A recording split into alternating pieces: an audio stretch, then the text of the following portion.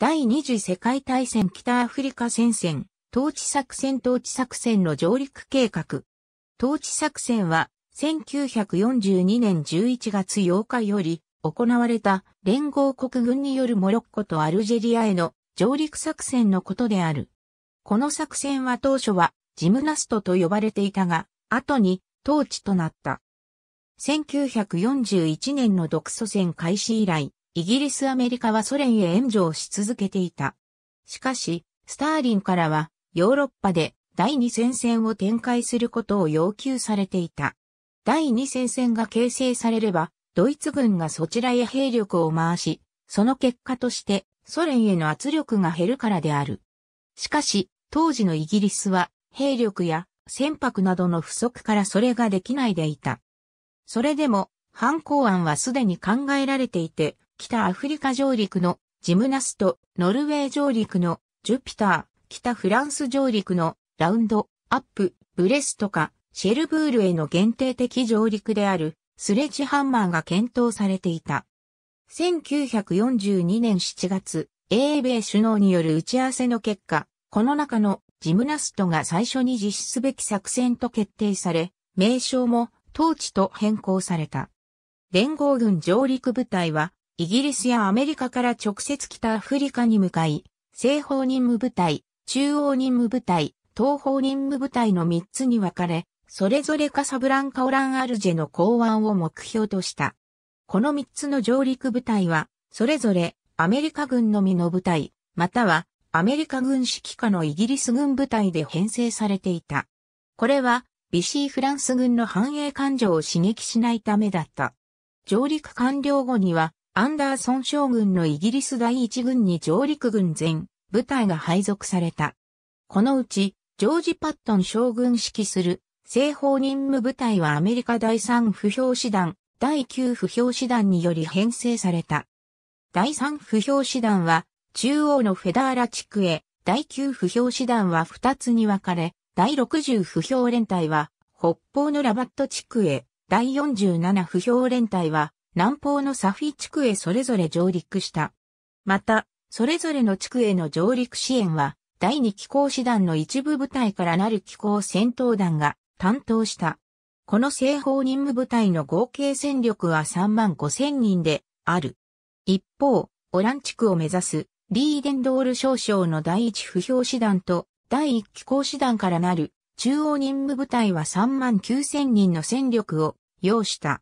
アルジェを目指すアメリカ軍のライダー少将率いる東方任務部隊はイギリス軍を中心とし3万3千人を要した。フランス領アフリカには20万人のビシーフランス軍がいた。上陸部隊はすべて11月8日に上陸した。アンリジロー大将が現地のビシーフランス軍と交渉に失敗して小規模な戦闘が行われた。カサブランカでは戦艦マサチューセッツなどからなるアメリカ艦隊が港内のフランス戦艦ジャンバールや出撃してきたフランス艦隊と交戦した。またビシーフランス空軍の大半は空襲によって地上で撃破されたが、わずかな残存機は抵抗を続けた。アルジェではたまたま現地に居合わせたビシーフランス軍総司令、フランソワ・ダルラン元帥が連合軍との停戦交渉をまとめ上げその日のうちに、北アフリカ全域では11日までに戦闘は終結した。英米軍部隊は、数軸国軍よりも先に、チュニジアを確保しようと、まず、アルジェのイギリス軍が11月13日に進撃を開始、数日後には前方に前進拠点を築くべく、イギリス軍2個大隊、アメリカ軍1個大隊の空挺部隊を降下させ、山岳の進撃路と飛行場の確保を命じた。これに対し数軸国軍は、わずかな降下両兵をチュニジアに空輸し、イギリス軍の先遣隊を撃破した。少数のイタリア軍の増援を受け、2回の反撃で連合軍の進撃を頓挫させた。増援として送られたアメリカ第一機構師団もドイツ軍によって瞬時に交代を余儀なくされた。チュニスに進出したドイツ軍戦車ティーガー。数軸国側では、リビアから撤退してきたエルビン・ドンメル司令官の部隊と新たにチュニジアで編成されたハンス・ユルゲン・フォガルニム上級大将を率いるドイツ第5装甲軍で、チュニジアでの自給を図ることになった。マレトラインとチュニジア北部への連絡路の脅威となっていたアメリカ第2軍団を除去するために、ドイツ軍の攻勢は、1943年2月14日にファイド峠から開始された。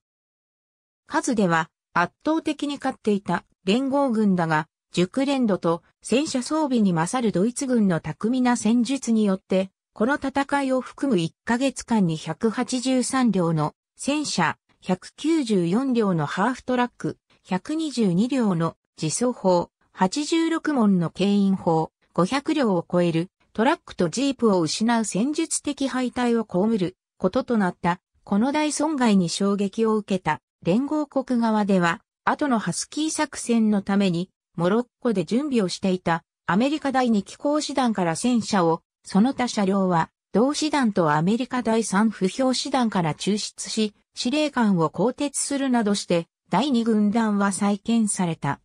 一方、ドイツ軍は、ドクヘルマンゲーリング師団の一部と、イラスペツヤ不評師団からの造営を受ける。3月3日、バーナード・モントゴメリー率いるイギリス第8軍は、マレトラインを迂回して、数軸国軍の背後への攻撃を開始。知らせを受けた独アフリカ総攻軍はこれを攻撃。パットンはさらにその後ろからイギリス軍部隊を支援した。数軸国軍は挟み撃ちにされる状態となり、マレトラインを放棄し、後退していった。4月、さらに連合軍は、数軸国軍を追い詰めようとするが、またしてもドイツ軍の巧みな防御戦と険しい地形によって、なかなか進撃できないでいた。そこで、連合軍は、数軸国軍の補給線への攻撃を開始した。シチリアからチュニジアへの補給線を大量の航空戦力で攻撃することによって、数軸国側に多大なダメージを与えることに成功した。5月7日に連合軍がチュニジア北部の港湾のビゼルトとチュニスを占拠したことで、同月13日に北アフリカの数軸国軍は降伏した。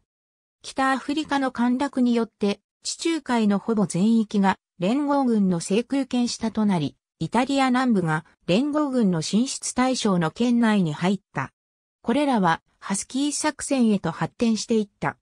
想定外に早い連合軍とダルラン元帥の講和に、ヒトラーはビシー政権の連合軍への内通を疑い、フランス全土をドイツの直接占領下に置くアントン作戦を発動した。これにより身体極まった南仏トゥーロンのフランス海軍は接収に来たドイツ軍戦車部隊の目前で、艦隊ごと自沈した。北アフリカでは、アメリカとイギリスの後押しで一時ダルラン元帥が総督となった。しかし、12月にダルラン元帥が暗殺されると代わりに、ジロー大将が選ばれた。シャルル・ド・ゴール准将は、シリアやダカールでの失敗から起用されることはなかった。その後、ジロー大将はドゴール准将による政治的な圧迫のために彼との二党体制への移行を余儀なくされ、そしてさらに圧迫されて解任され、失脚した。ありがとうございます。